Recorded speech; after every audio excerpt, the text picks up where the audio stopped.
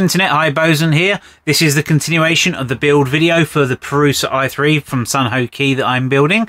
Uh, this is going to be part 7 and 8. So if you have a little look there, it will give you the time indexes to jump straight to those parts. I'm sorry part 9 is not here this week. I was really hoping it was going to be, but time's kind of against me. I'll explain more at the end of the video. Anyway, let's get on with the build video. Okay, we're now going to be moving on to part 7. And in part 7, we have 6 M3 by 16 bolts and 6 M3 nuts. Also, we have three main pieces of plastic, of acrylic here. We have the big square one that says Prusa i3 at the top. And we also have the two triangular pieces that you can see here. Now, be aware these do differ. Uh, this one here, as you can see, has got those holes close together than that one, which they are further apart. So you'll have to keep an eye on that because one is uh, set up for taking the circuit board, one is set up for taking up the power supply. Okay, let's get the plastic protector off of these. Oh, the A is still stuck in the hole. Look, look at this.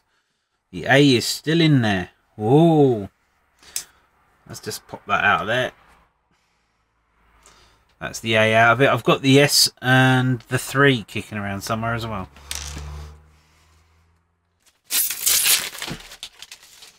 Yes, I am just lobbing this on the floor. I'll swear about it late when it gets caught in the chair wheels. Okay, out of these parts, I've just had a quick check. The one with the holes wider apart is the one for the circuit board. And the one for the circuit board should be going, if you're holding this and looking at this, where it says, if you're standing holding it, looking at where it says Prusa i3, that one should go on behind that piece on your left if you're standing looking at that. And the other one should be going that side like that. And now we need the use these because uh, we've got one two three on each side. So the M3 by 16s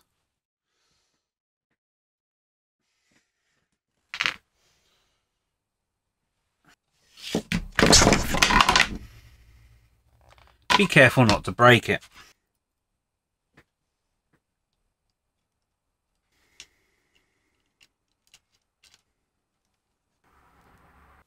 Second one. Go to the wide camera to see me doing the top one. Put this piece on here. In there you. Sorted. Right. Now the other three.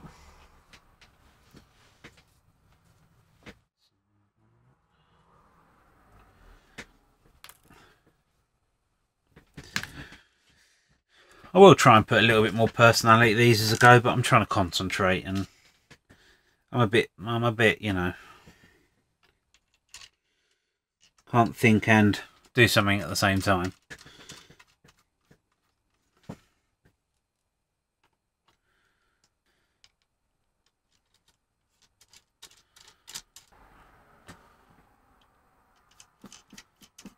I'm going to be careful here on this top one as there's a very minor crack just coming off of the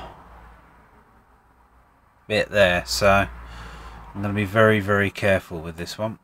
I think that that crack is in a place it hopefully shouldn't really be under any kind of stress. If you hear Profusius swearing in a little while, you'll understand that I was wrong.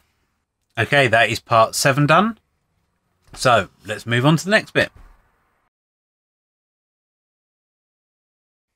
Okay, now we're moving on to part 8.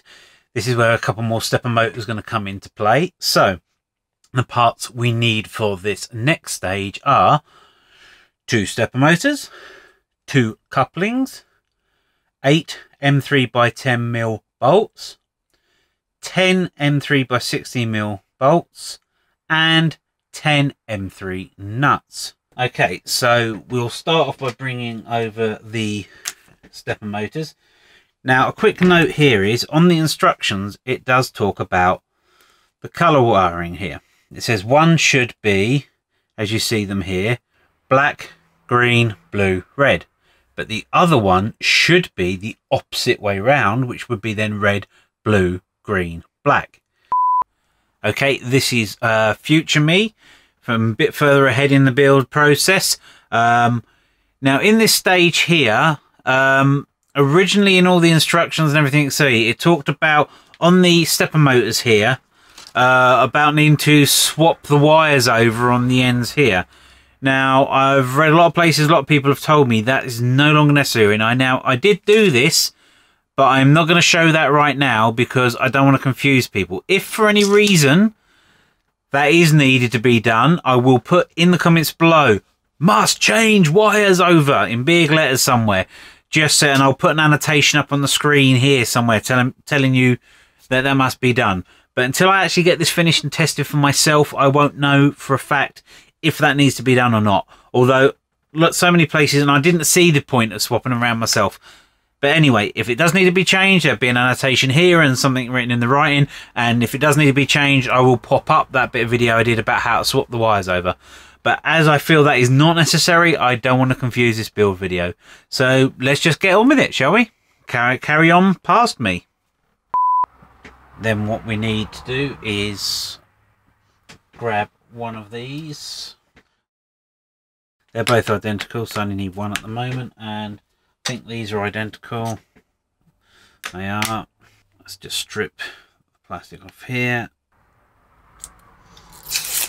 Okay, so we take one of these with the hole to your personal right. I know it's left on the screen, but to the right. Take one of these and then put the hole to your right slot to the left in there and then do the good old-fashioned need two of the uh, M3 by 16s with two of the nuts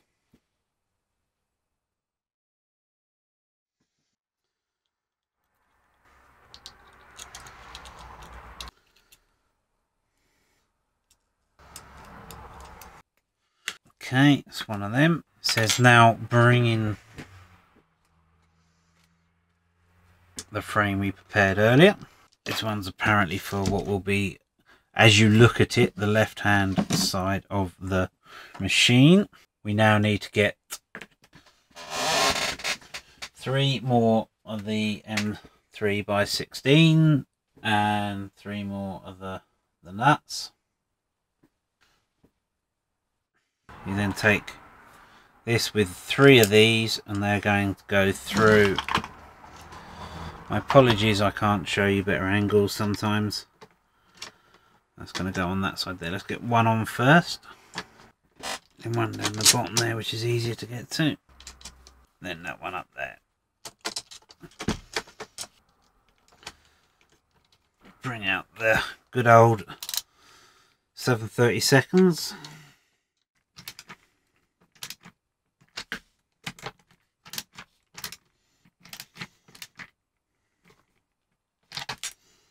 That one's there. Now securely on there. And then the next stage it says choose a stepper motor. This one here now the and it says push that wire through there. Slot at the bottom.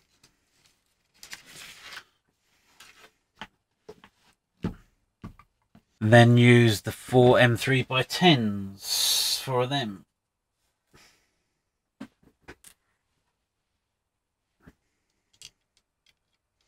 Now something I'm noticing on here, these stepper motors do have a flat edge.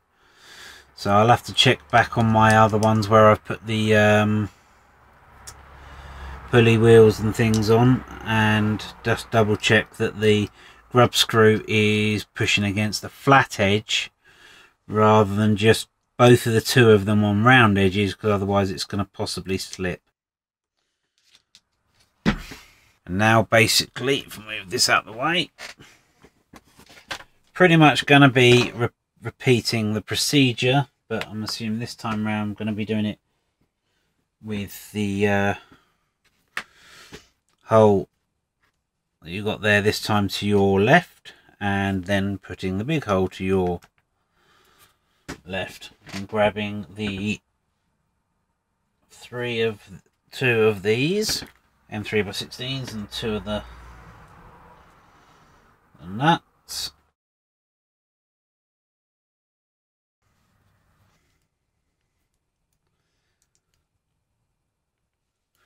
Okay, that's that tight. Now bring back the frame in again. And this time we're going to do this onto this side. We need the three last 16 M3 by 16 mil ones. Last three nuts.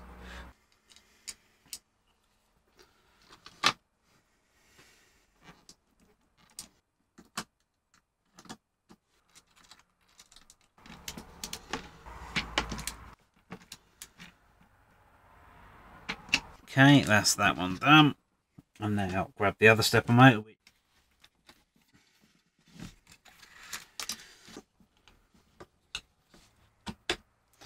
And now the four remaining M3 by 10s. Right, that's those four done. Next are the two couplings. Now there's a smaller hole end and a larger hole end. So I'm assuming obviously the larger hole end is going to have to take the the rods when the time comes. So this has a um, flat spot. I'm just putting the flat spot kind of pointing towards me at the moment. So when I put this on here, that should be now tightening onto the flat spot. And tighten the other one which keeps it pushed onto the flat spot I'm assuming is the main idea on that one. I'm putting the flat side towards me so I can see it. Okay. So okay there we are. We now have step 8 done. Main frame there stepper motor so it's already starting to look like a bit of a 3d printer. Not a lot but a bit. Okay uh, next stage will be step 9. Come back a little bit later and finish building this.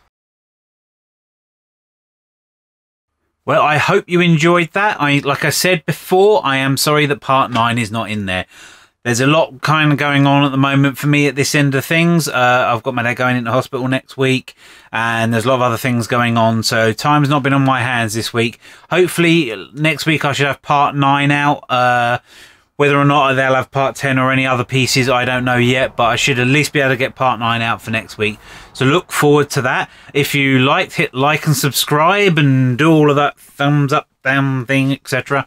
And leave comments below and let me know what your feelings are. You can also catch me on Twitter at Hiboson. And I, uh, I'll see you next week, I hope. Cheers. Bye.